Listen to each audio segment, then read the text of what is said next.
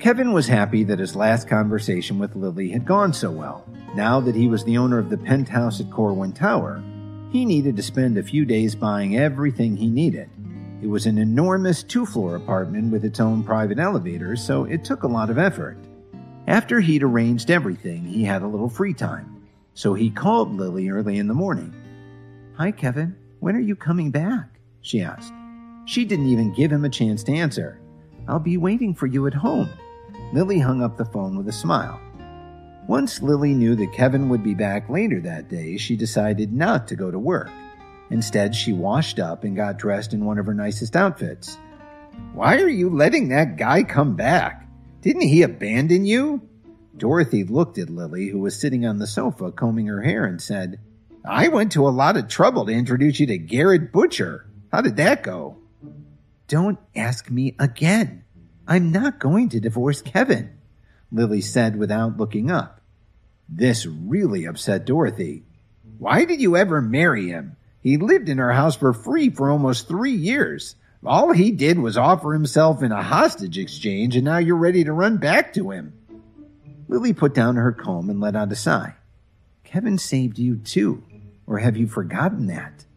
You want me to thank him for such a small thing? Never! Dorothy slapped the table hard. Dorothy continued her tirade. Let me ask you this. During the three years you and Kevin were married, were you ever happy? Can he give you the life you want? Every other wealthy family I know has successful son in laws. Some of them are worth millions. How does Kevin compare to them? Dorothy's complaining was interrupted by the sound of an engine out in the street. She looked out the window and was astonished to see Kevin getting out of a brand new sports car. I'm back. Kevin smiled and waved at Dorothy. Dorothy looked at Kevin in shock and then looked at the sports car parked outside. Kevin? Dorothy asked in disbelief. Kevin nodded slightly at Dorothy. Then he walked into the living room and said to Lily with a smile, I'm back. Lily looked at the sports car parked in front of the house. She wasn't sure what to make of it. That's my boss's car. Because I'm taking the day off, he lent it to me, Kevin explained with a smile. Before Lily could say anything, Dorothy interrupted.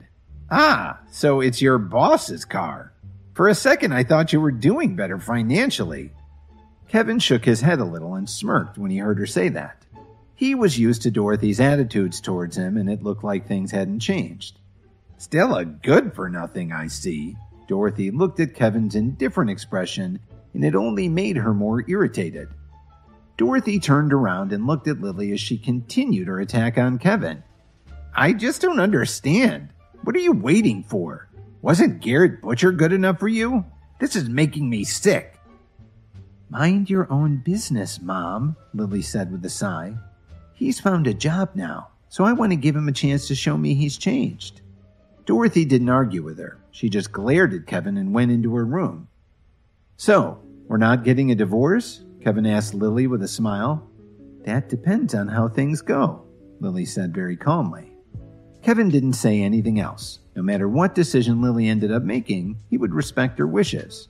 When he thought about it, Lily had always put a lot of pressure on him.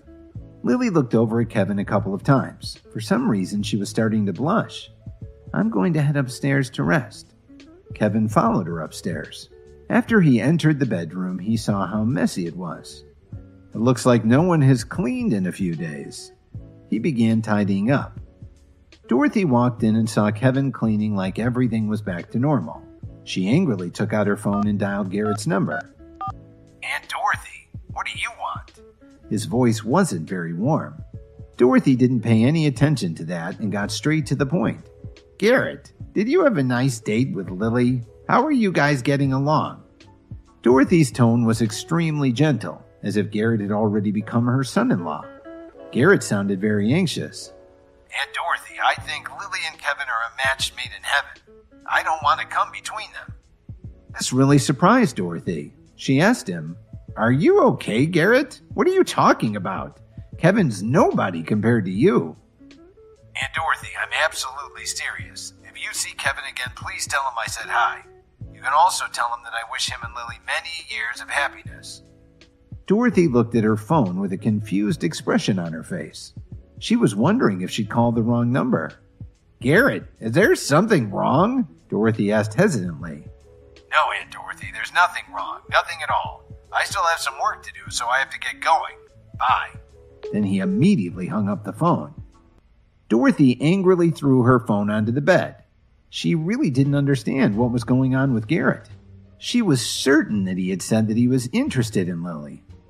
Suddenly, there was a knock on the front door. Dorothy frowned slightly and walked over to answer it. Who is it? Hi, Aunt Dorothy. She opened the door and Rachel walked in. Hi, Rachel. Please have a seat, Dorothy said with a smile. She turned around and shouted upstairs, Lily, Rachel is here. When Lily walked downstairs, she sat down on the sofa next to Rachel and started chatting with her. Dorothy shouted upstairs again, Kevin, what are you doing? Come down here. When Rachel heard this, her smile turned into a look of surprise. She gulped and asked Lily, Is Kevin home? Ever since Rachel found out who Kevin really was, she didn't dare to come over and visit Lily. The night before, when she was talking to Lily on a video call, she found out that Kevin hadn't been home in a few days, so she figured it was safe to come over and hang out with her friend.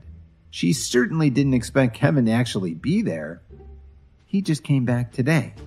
Lily didn't notice the change in Rachel's expression.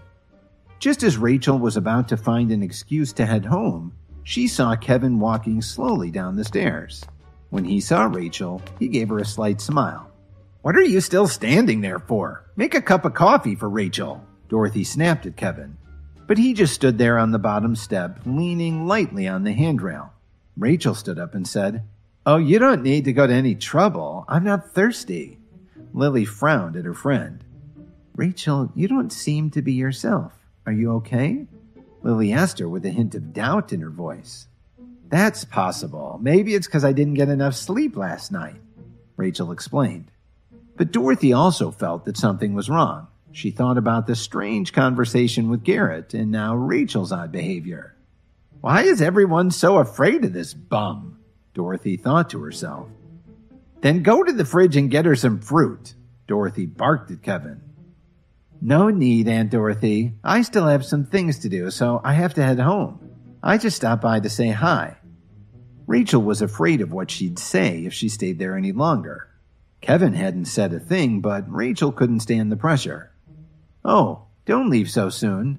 Why don't you stay a little longer? Kevin asked with a smile. I really have something to take care of, so I've got to run, Rachel said apologetically. Okay, we won't keep you, Lily said. She looked at Kevin and then back at Rachel and asked her, How did you get here? I didn't see your car. It's in the shop, Rachel forced a smile. I'll just take a cab or something. You don't need to pay for a ride, Dorothy said. Kevin's got his boss's car today. He can drive you home. Rachel looked at Dorothy in surprise. Didn't she know who Kevin really was? That's too much trouble. I'll be fine. Rachel was on the verge of tears. Rachel, why are you being so polite to him? He'll only hang around here and do nothing, Dorothy replied. Kevin sighed. He pulled his keys out of his pocket and said, It's no problem, Rachel. Let's go. At this point, Rachel had no choice. She grabbed her purse, said goodbye to Lily and Dorothy, and headed out the door with Kevin. As she got in, she noticed that Kevin's new car was a Maserati coupe, a pretty modest choice considering what he could have bought. After a few minutes, Rachel said timidly, You can just drop me here, Kevin. I can really take a taxi home. Kevin steered with one hand while he adjusted the stereo with the other. What did you just call me? Have you forgotten already? Boss, Rachel said softly. That's better. Kevin smiled and said, Don't be so nervous, Rachel. As long as we're already out, I might as well drop you off at home. Anyway, I don't have anything else going on today. Thank you, boss, Rachel said. Kevin laughed and turned onto Michigan Avenue. While he was waiting for a traffic light, he heard a voice in the car next to him. Isn't that Kevin? So you're driving a fancy sports car now? Kevin looked over and saw that it was Jason. Unfortunately, traffic was starting to back up, so he couldn't hit the gas and get away from him. Kevin, you sure are living well now. That car must have cost what, 200,000? After Jason said that, he looked in the passenger seat and saw Rachel. I see you found a lovely rich woman to support you. And who is this pretty lady? Don't bring her into it, Kevin said coldly. Kevin, you're just a poser, Jason replied. In fact, when Jason saw Rachel, he figured the sports car was really hers. Then he assumed Kevin had found a rich woman to pay for his lavish lifestyle. Kevin, you really are amazing. You've had free room and board for three years with Lily, and now you're looking for another rich woman to support you? I should have known. Jason sneered and revved his engine. Because Jason was making so much noise, the pedestrians who were waiting to cross the street heard everything. Their comments were pretty insulting. So he's married into the Joneses family? Another commented, I'm a handsome guy. Why can't I find a rich woman to buy me a car? This was pretty frustrating for Kevin, and he started to lose his temper. But Rachel, who had been sitting calmly in the front passenger seat, got even more angry than Kevin. The traffic wasn't moving at all, so she opened the car door and walked over to Jason's window. Suddenly, everyone heard a loud slap. You actually hit me? Do you know who I am? Jason was a little surprised. The young woman who was sitting in Jason's car was also shocked. She said to Rachel, this is one of the most important people in the Jones family. So what? What are you going to do about it? Rachel glared at Jason. Because Jason had no class, he said loudly, Not only does this beauty have a hot body, she also has a hot temper. Then he added, She really ought to be with me. The bystanders who were anxiously waiting for the light to change spoke quietly to each other, but nobody said anything that might risk provoking Rachel. Rachel glanced at Kevin and saw the smile on his face. This gave her even more confidence. With the support of Williams Media CEO, what was there for her to be afraid of? She put her hands on her hips and said, You? You're nothing compared to Mr. Williams. Mr. Williams? Jason wondered.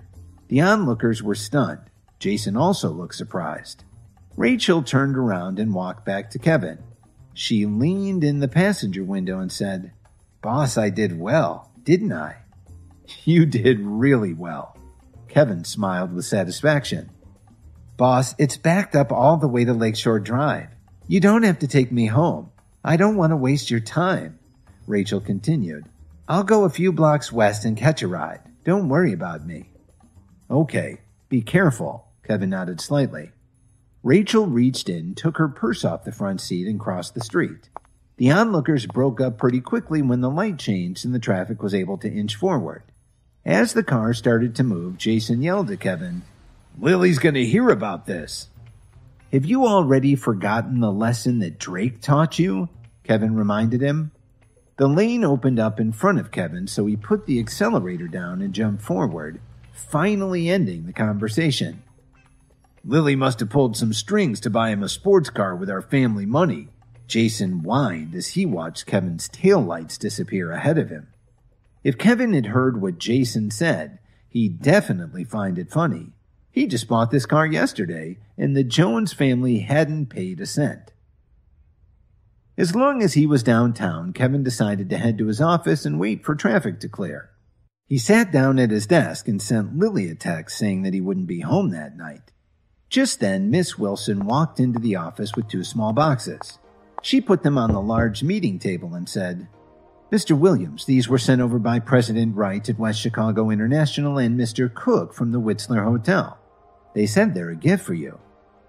Adriana and Mitch? Kevin put down his phone. What could this be? he wondered. Yes, sir, Miss Wilson nodded. There was a trace of excitement in her voice. Thank you, Miss Wilson. Please don't let me keep you from your work, Kevin said gently. She left the office and Kevin opened the box for Mitch. There was a red pill inside. Kevin clearly remembered the pill that Mitch had given him a few days before. Since he took that pill, it seemed his body had gone through some changes. He wanted to find out more about this fiery red pill, so Kevin called Cook. Mitch, are you busy right now?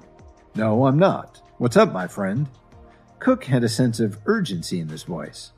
Kevin frowned and asked him, did you just send me another pill? What's this one supposed to do for me? He wasn't sure if he wanted to hear what Cook. Hi, guys, Kevin here. Listen to full episodes of Insta Empire exclusively on the Pocket FM app. Click the link in the description to install the app now.